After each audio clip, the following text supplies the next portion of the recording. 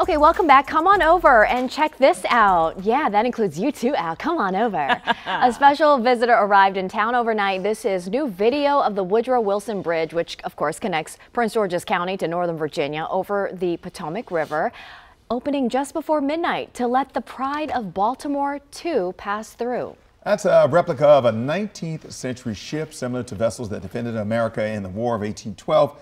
It's docking in Alexandria for the weekend, and if you want to check it out, you can. The boat will be there near the Alexandria, the city of Alexandria Marina. So keep that in mind. You can uh, board that ship for free Friday through Sunday from 10 a.m. to 3 p.m. You can also get some history lessons from the deck crew and National Park Service Rangers. It's always a sight to see when they open that up. I know. Right. Very regal.